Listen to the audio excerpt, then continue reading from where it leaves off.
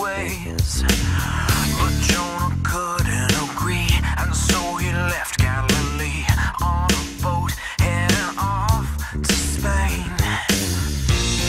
But there's no hiding from the one who caused an angry storm to come.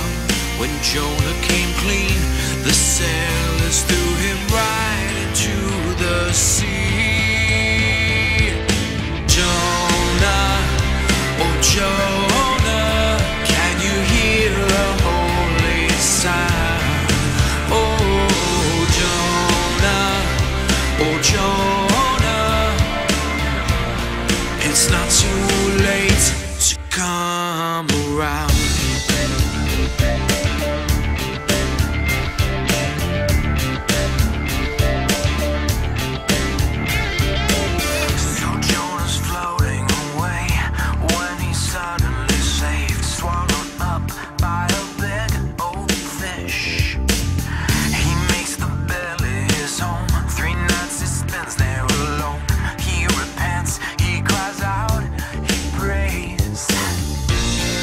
When Jonah's anger was no more, the fish spit him out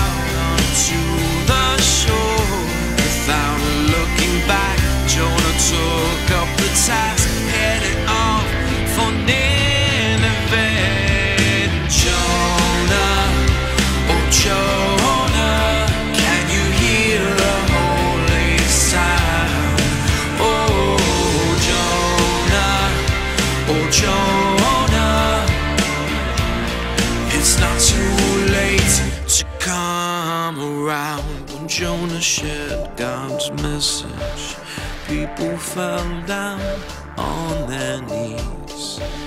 They would fast, they would plead, they would come to believe that God was full of mercy.